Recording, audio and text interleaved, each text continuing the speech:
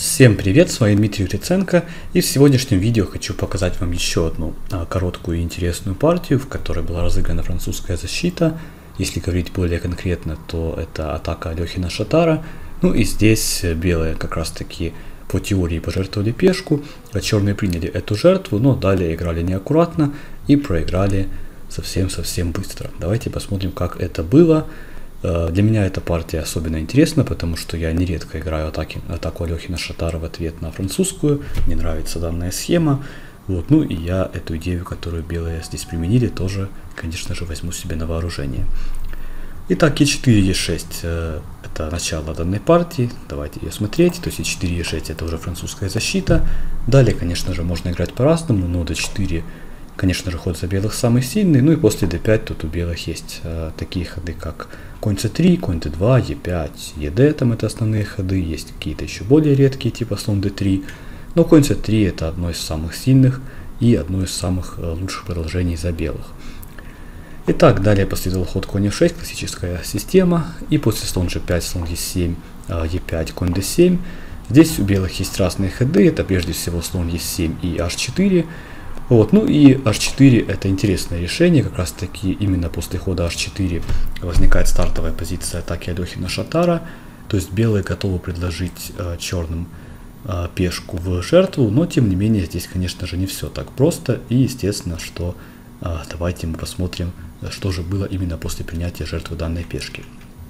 Итак, черные принципиально играют, съедают пешку на поле g5, вариант действительно, конечно же, имеет право на жизнь, но вариант очень рискованный и, э, в общем-то, за черных есть, наверное, более сильные схемы, но тем не менее, опять же, в чем плюс большой данной э, системы, так это в том, что действительно здесь черные, в общем-то, вынуждают белых атаковать и, по крайней мере, имеют материальный перевес, то есть белым нужно доказывать уже с первых ходов, что они имеют компенсацию за данную пешку. Итак, после ферзь g5 белые играют конь h3. Почему именно конь h3? Идея в том, чтобы не закрывать ферзя, и ферзь в дальнейшем мог выйти на поле g4. Это вообще одна из основных э, идей в данной системе за белых. И вот тут есть разные ходы, как показывает компьютер, можно сыграть ферзь h6, э, еще более сильный ход, пожалуй, это именно ферзь e7. Вот, то есть ферзь e7 это основное предложение за черных, ферзь h6 также играют, но пореже, то есть ферзь h6 э, идея в том, что ферзь хоть и подставляется под ладью, а, но, тем не менее, ладья пока под боем, поэтому уходить конем, конечно же, здесь плохо. Но, однако, здесь а, тоже не все так просто. Покажу в режиме блица здесь примерный вариант, который, по крайней мере, предлагает мне личес.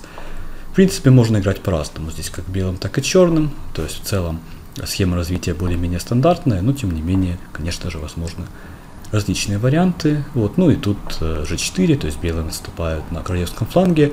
А, черный, естественно, что пока в общем-то, играют максимально аккуратно, чтобы, как говорится, не проиграть сразу. Ну и вот здесь бесстрашный компьютер за черных предлагает просто рокировать короткую сторону.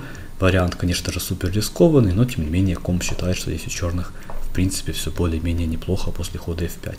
Хотя вот так вот чисто по-человечески, а, конечно же, позиция черных смотрится очень и очень опасно. То есть в версии 3 там далее белые уходят в рокировку длинную, там играют ладьей на поле g1 и, конечно же, по вертикалям G и H начинается сильнейшее давление на позицию черных. Вот. Ну, опять же, компьютер не знает страха, он просто играет, исходя из своих каких-то конкретных оценок. А, тем не менее, важно понимать, что ход ферзь 6 все-таки не основной, ферзь e7 здесь сильнее, но также, кроме хода ферзь e7, у черных есть и ход ферзь d8. Это еще, конечно же, не ошибка, но тем не менее, это ход неточный.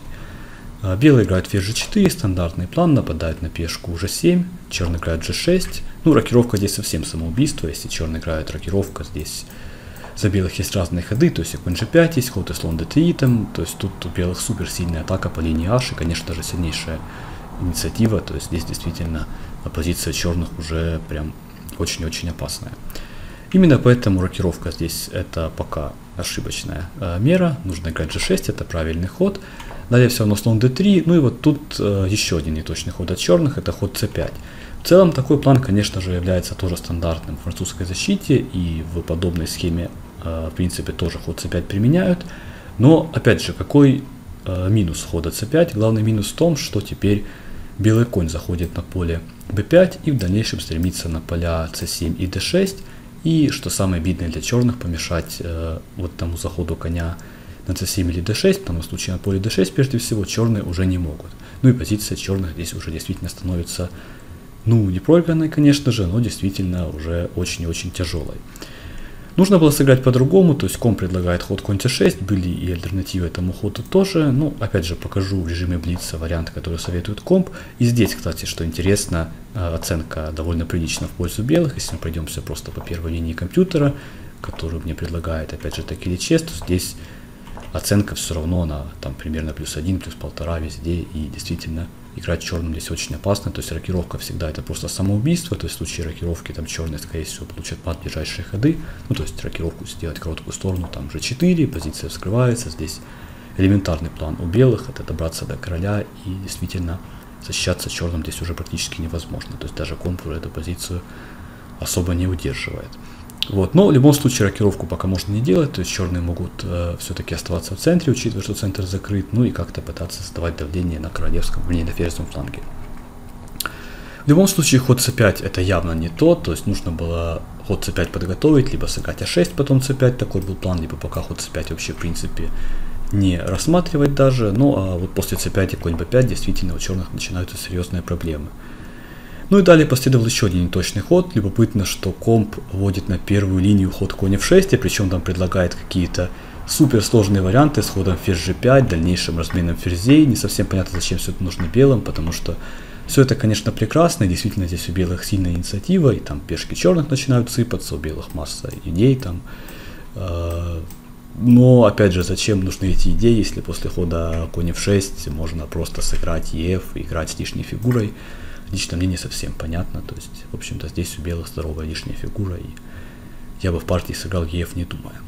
Вот. Ну и конь f6, конечно же, странно смотрится ход. Выводить его на первую линию, конечно же, комп может сколько угодно раз, но тем не менее люди так обычно не играют. CD в целом вполне логичное решение, но это еще одна неточность. Ну и далее очень быстро белые добили черных. Последовало конь d6, король f8 и конь f7. Уже после хода коня в 7 черные сдались, ну и давайте разберемся, почему же они э, приняли такое решение. Очевидно, что принципиальный ход за черных это король f7, остальные ходы явно неудачные, ну то есть по крайней мере там белые просто выигрывают материал и естественно, что тоже легко побеждают, но ход король f7, конечно же, я вам обязан показать, давайте разберемся, что дальше могло произойти в партии. То есть в партии всего этого не было, черные уже сдались после коня f7. Итак, король f7, далее конь g5, ну и тут у черных очень неприятный выбор, то есть все ходы черных, они плохие. Либо теряется ферзь, либо черные получают мат, либо теряют даже еще больше материала, чем ферзь. Допустим, ферзь и ладья могут где-то теряться. Ну вот, допустим, если король f8, то просто конь e6, далее съедаем ферзя.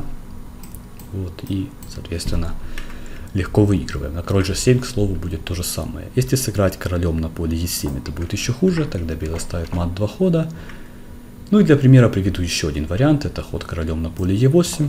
А, тогда красивая очень жертва слон g6, в принципе не такая уже сложная. Идея в том, что после hg есть ход ладья h8, но еще чуть точнее сыграть в начале ферзь e6, вот после слон g6 hg сыграть ферзь e6 сразу, и после ферзь e7 э, ладья h8, так еще сильнее, и здесь э, белые добиваются еще большего перевеса, на самом деле здесь даже не материальный перевес будет в конце, а мат через 6 ходов, опять же таки при идеальной игре э, белых.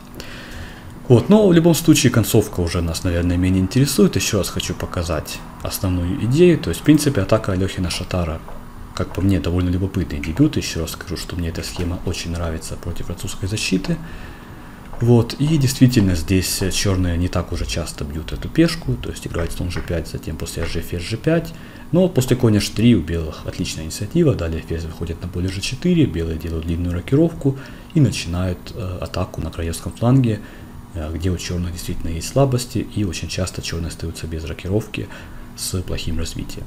Ну и в любом случае, что черным в этой позиции делать не нужно, так это играть c5 без хода а6, потому что после э, c5 и конь b5 уже здесь позиция действительно по сути на грани поражения. Э, для черных здесь уже все довольно печально. Ну что ж, такая вот любопытная идея за белых. Надеюсь, что вам тоже эта схема понравилась и против французской вы ее будете применять. Я имею в виду атаку Лехина Шатара. Всем спасибо за внимание и до встречи в новых э, видеороликах.